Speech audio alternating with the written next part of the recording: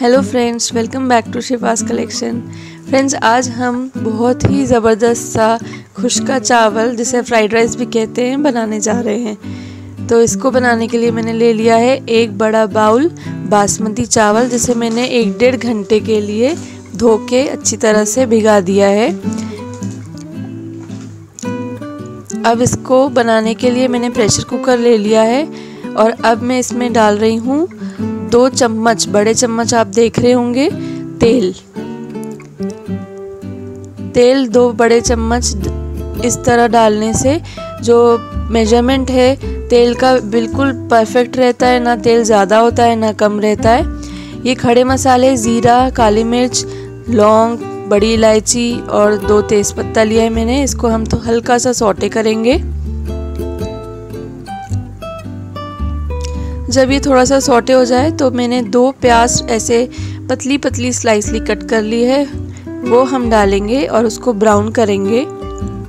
इसको चम्मच से अच्छी तरह से मिक्स कर लेंगे और चलाते जाएँगे और लो फ्लेम पे ही हम इसको अच्छी तरह से ब्राउन होने देंगे।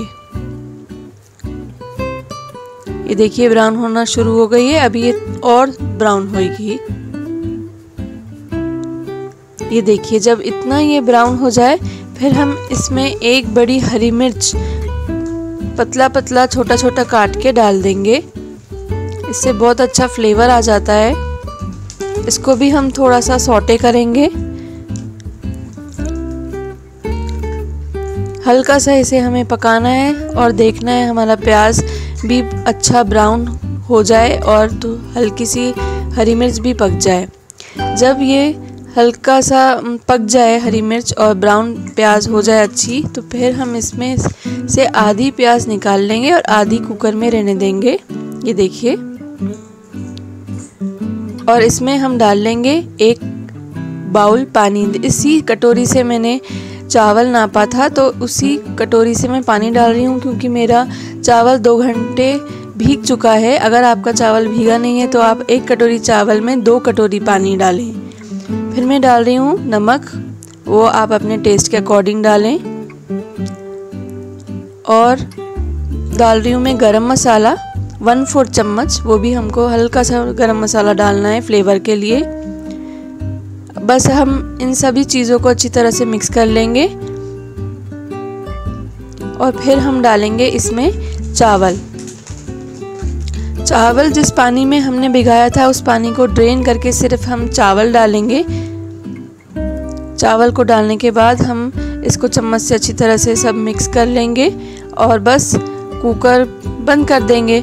जब सीटी आ जाए, फिर हम इसको बंद कर देंगे अपने गैस का फ्लेम, क्योंकि हमारा चावल अच्छा भीग गया था। अगर आपने चावल अच्छे से नहीं भिगाया है, फ़ौरन आप पका रहे हैं तो आप सिम पर कुछ देर पका लें ये देखिए, हमारा चावल बन के तैयार हो गया है। इसको हम फ़ौरन ही डिश आउट नहीं करेंगे। पाँच एक मिनट थोड़ा ठंडा हो जाए, चावल सेट हो जाए तो ये देखिए, मैंने इस तरह से चावल डिश आउट कर लिया है। बहुत ही खिला खिला और बहुत ही ज़बरदस्त सा चावल हमारा बन के तैयार हो गया है।